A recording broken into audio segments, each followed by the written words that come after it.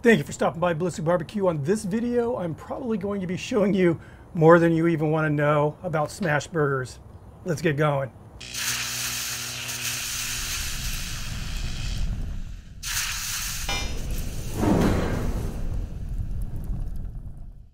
So this is a video I've been wanting to do for a long time. I've done so many copycats and I've used so many techniques that I've learned from doing those copycats. I just kind of wanted to throw a bunch of them into one video. So this video is all about smashed burgers. So as this video progresses, I'm going to be showing you the different type of tools, spatulas, you know, flippers and everything you're going to want for doing a really good smash burger.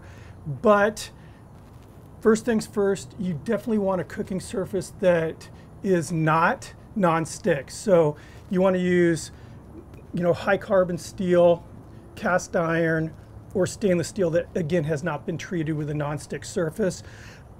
Skillets are fine. You're going to see a lot of these techniques. Uh, skillets just not going to work because of the limitations of size and also the walls become a hindrance. Um, a flat top is the best. I'm using, you know, my Blackstone here. Um, if you don't, you know, want to buy or you don't have a big Blackstone, uh, stove top, you know, plancha, little griddle is, fine. I have, uh, actually I came out with the ballistic griddle, which Craycort is selling, and also the Ballistic MoJoe, which is, you know, a 18 inch diameter flat top, fits on a kettle grill. MoJoe Outfitters is selling that. Um, you just want a nice flat top. And again, for doing some of these techniques, you, you're gonna need some room. Let's get started. So for this first burger, I'm gonna show you how they do it at the Bop and Grill. This, by the way, is my Good Luck Burger hat from Dino's Bar and Grill in Nashville. Check those guys out. Old school dive, great burgers. So I have here a four ounce ball of 80-20 ground chuck.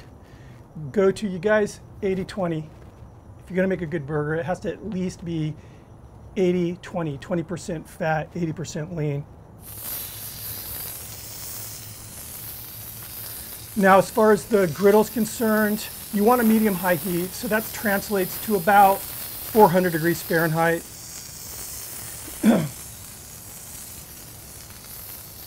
so just to keep things simple, I'm using the same seasoning on all these burgers, just salt, pepper, garlic, but at the very least, these places that make these iconic burgers, it's gonna be just salt, and usually the most is gonna be salt and pepper. So what I'm doing now is I have the ball on the griddle and I'm allowing the heat to kind of go up through the meatball, kind of soften it up a little bit.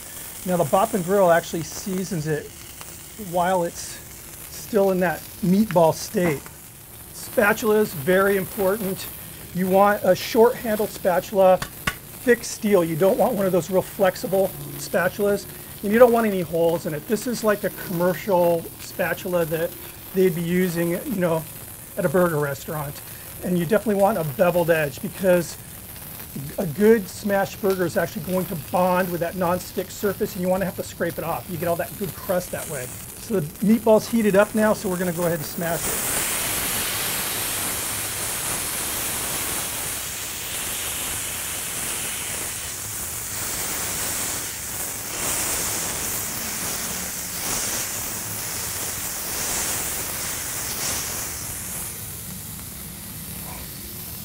Most of these burger places, they're cooking so many burgers, their spatulas get fairly warm. Heat it up a little bit. It'll keep the meat from sticking on the spatula. You don't want it searing hot, just get it you know, warmed. It's actually like 6.45 in the morning right now, so coffee. Now you can see there's little holes forming here and there's juices boiling up through those holes. It's time to flip. You want to hold the spatula down at an angle and scrape the burger patty off. There you go. And this crust is why you smash burgers.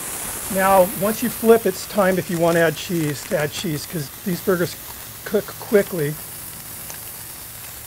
You're going to do a legit diner-style burger. It's going to be American cheese. Get a lot of crap for using this stuff. Plastic cheese. Let me show you this. This is the stuff I like to use and this is the Deli Deluxe. And you can see right down there it says pasteurized American cheese. The other stuff that's individually wrapped in the plastic, it's, it's cheese product. So, you know what? This stuff is actually invented in France. Um, so this says cheese. It's actually cheese. It's just processed cheese. We got a good melt going.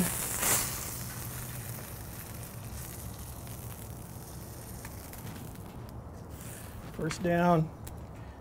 I'm going to do a more old school burger from Schoop's in Chicago. They also have some locations in Indiana now. They started in 1948, I believe.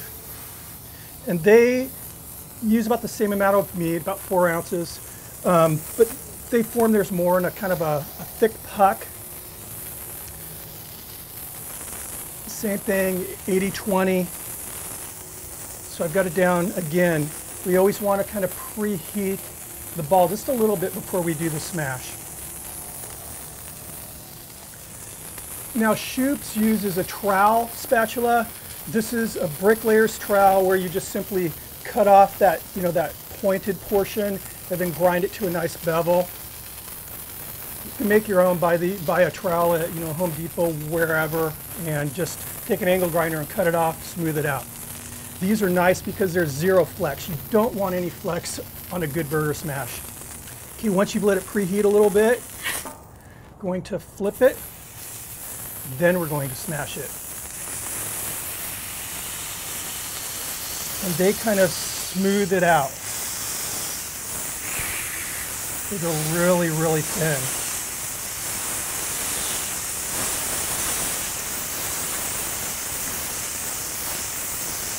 One of the nice things about a smash burger is a burger like this, you're going to get some hangover on the, on the bun. Just to go fast. It's very thin, you don't need to season both sides. A little seasoning on there. Now again, holes all over the place here.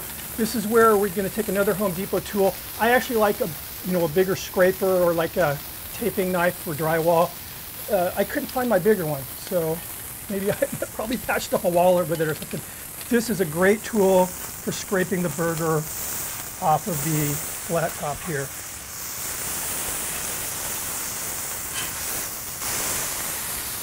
So again, cheese down. This is going to be a kind of an homage to a burger they have there called the Mickey. So I'm to flip the heel over, second slice of cheese got a good melt going on. Steaming hot, it'll melt this bottom portion of cheese here. Top bun. Again, Chicago, what are you guys doing with all the smash burgers? We're going to replicate the technique of the Red Hot Ranch Killer Burger. Four ounces, 80-20 again. We're letting it kind of preheat. They smash theirs with this thing here. It's a nice heavy piece of stainless steel.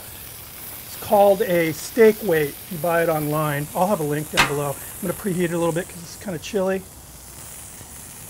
This is truly one of my favorites. I just, I love this technique. So again, it's preheated, it's nice and soft. You can actually see it's kind of glistening a little bit now. Smash it straight down and then smooth it off, kind of twist off.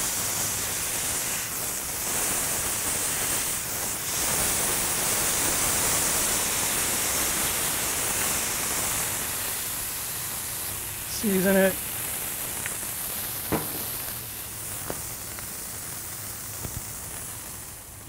All right, yeah, juice is bubbling through.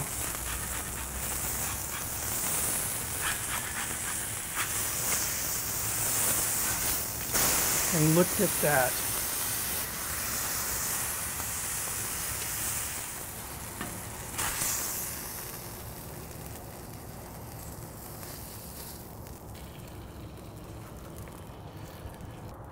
now we're going to do one of the most one of the most common smash techniques. It's called the four corner press. It's we're going to form our patty.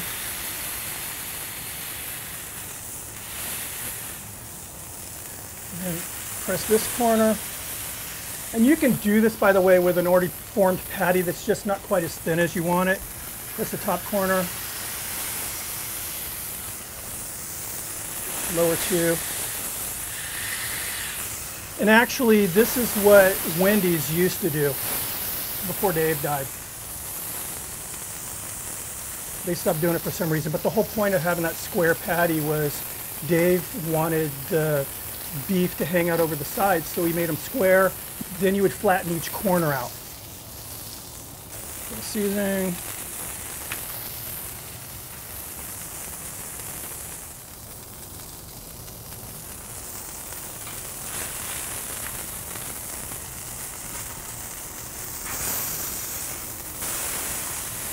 Again, you, want, when you put your spatula underneath there and start lifting it, you want there to be a lot of resistance. You have to peel the meat off of the grill.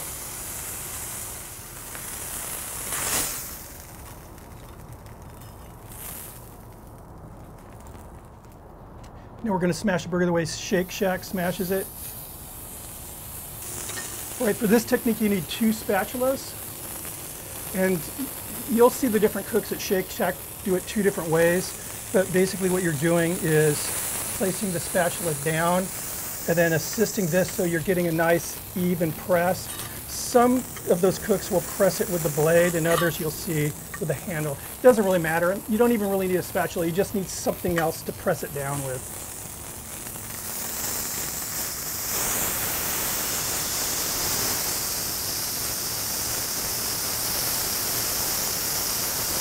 about 10 seconds.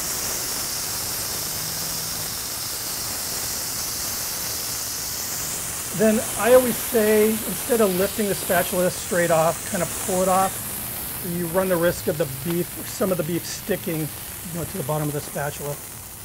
And again, we'll season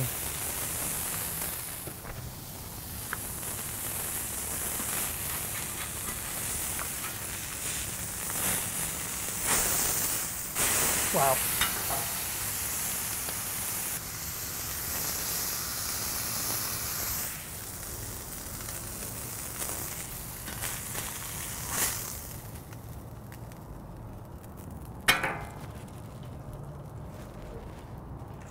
Now we're going to do the technique from Smashburger, the restaurant Smashburger, one word.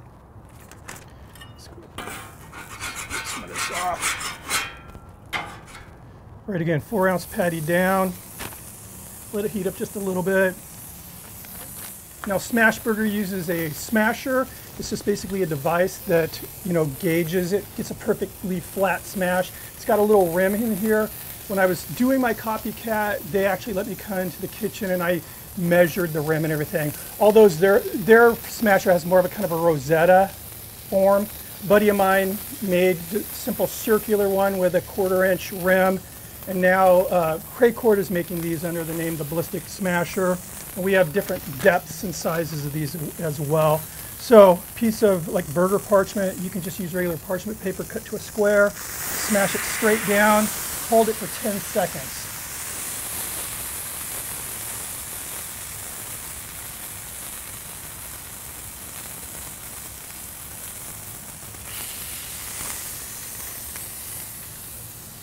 Now, so you can see the difference of some of the smashers we're selling through Craycort.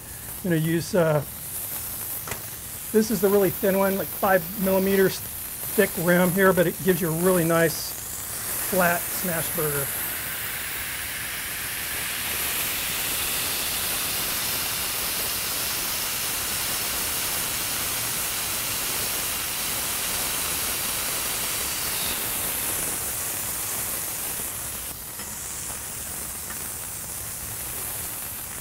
And this is the thickest version. Gives you a big, thick patty, but you still get that nice, you know, flattened sear.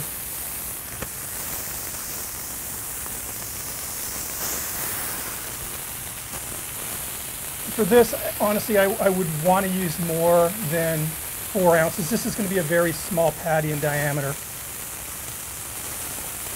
This is like more for an eight ounce burger. But you can see how thick it is. Season.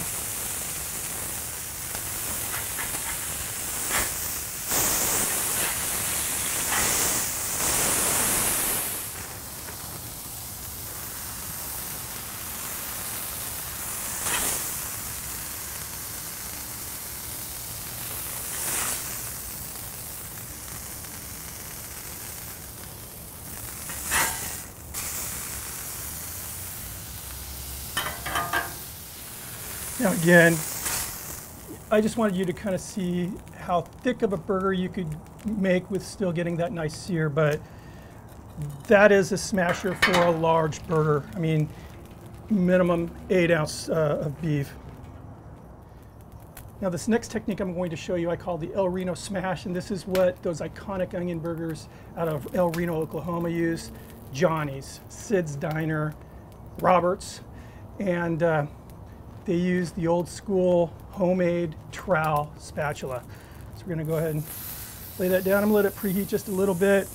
Now this particular technique, you need some real estate because it's very physical, it's almost violent. Um, if you want to do this technique, you're not going to be able to do it in like a little cast iron skillet. Uh, at the very least, like a stove top, you know, cast iron griddle. Or the ballistic griddle, the ballistic MoJoe. This is one where you want to kind of preheat that spatula so it doesn't stick because you're wailing on this, this uh, patty here.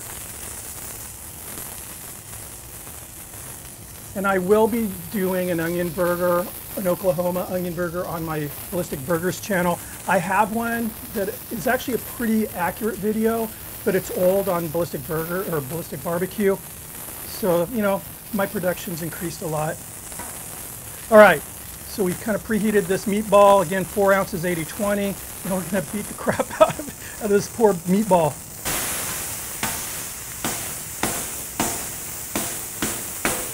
There you go. And we're going to season it. Now, these these restaurants, these grills, these burger joints in El Reno that do this, they're fantastic. And um, like I said, my video that I did years ago, I did a lot of research on it, but I hadn't had the opportunity to go to any of these places. I was gleaning my information from videos of them cooking these burgers. My good buddy Cosmo over there at Cosmo Q's, he, he grew up in El Reno. He worked at Roberts. And I had the pleasure of going to Roberts and Sid's with uh, Cosmo. He actually cooked these as a kid, you know, working at Roberts. Um, so the next video I do will be, I think, a lot better. So we're ready to flip.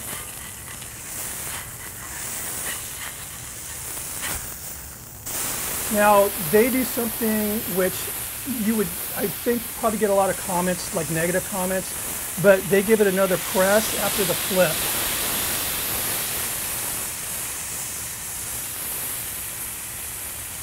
So again, this is how they would do their non-onion burgers there.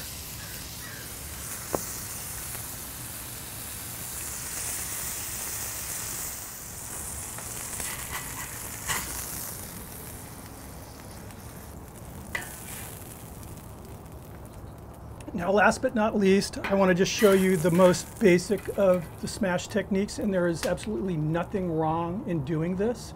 And that's just, you have your burger patties that you made, put them on the flat top, and then you just give it a press. Just, you don't want to really smash it down, you know, like a really thin smash burger. This is, the only thing I'm really trying to do here is get that burger to, you know, bond and get a nice even crust. Now again, it's flattened. Now I'm going to pull the spatula off. It doesn't take very long. And now the other thing that's nice is I have a perfectly flat upside now. So when I do flip it, I'll get some good crust on that side as well. Okay, get the color. This is a thicker patty than those more traditional smashes. So I've got the color kind of starting to wrap over the top. And it's really nice and it's one with that griddle top. There you go.